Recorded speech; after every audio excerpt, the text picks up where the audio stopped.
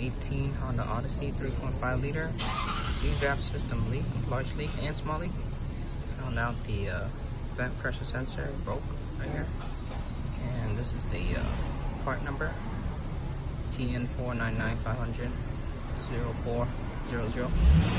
This is the uh, problem right here. Broke. Right there. And this is the canister.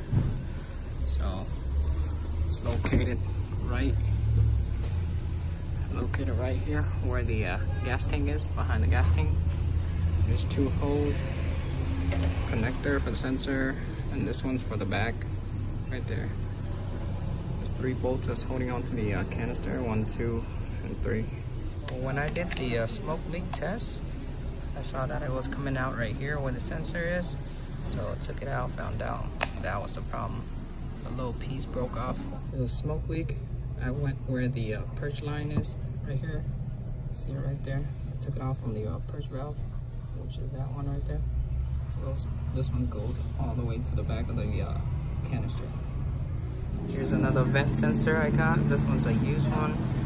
Has an O-ring too, so it's good. Same part number and everything.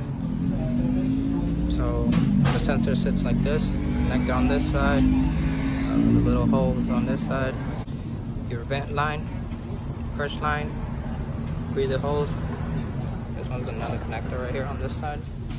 For the uh, line, I got this uh, evap line tools, pretty useful. Press it like this and disconnect it, very easy. Got the connector for the sensor back in, little line, your uh, line, vent line, breather holes right here and the connector. Here's the code for the uh, evap. Both the same, permanent, temporary. Those are the three codes. Now I'm gonna clear it, should be okay.